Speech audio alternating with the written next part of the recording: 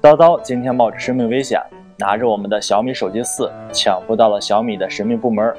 在这里呢，我们将手机成功的刷上了 Win 十。向上滑动锁屏界面，我们现在进入到的就是微软引以自豪的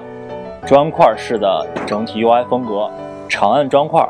我们可以对砖块的大小以及位置进行一些调整，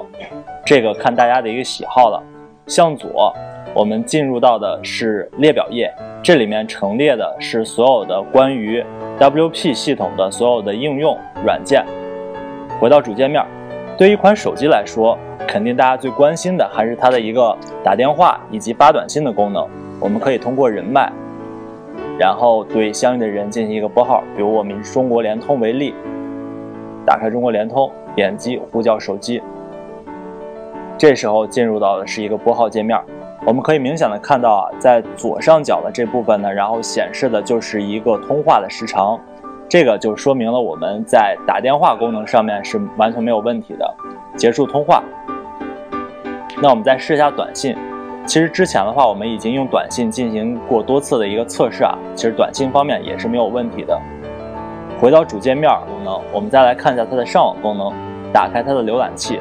输入米点 com 进入小米网。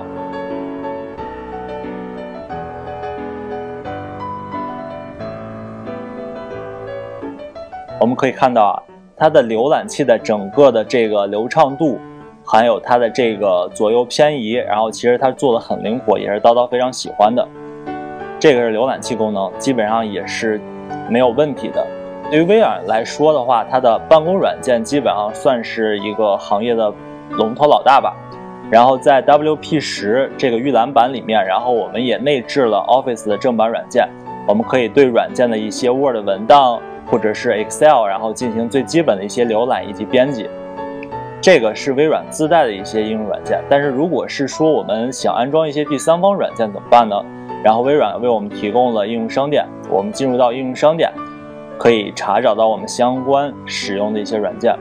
比如在分类下，我们可以找到社交软件里面最常用的一些微信、QQ 以及微博。然后进行安装，然后这个呢，基本上也就是今天叨叨给大家分享的一个关于米四在使用 WP 十上的一个体验了。更多关于小米手机适配 Win 十的进度的一个消息，请大家及时关注小米社区小米点 cn。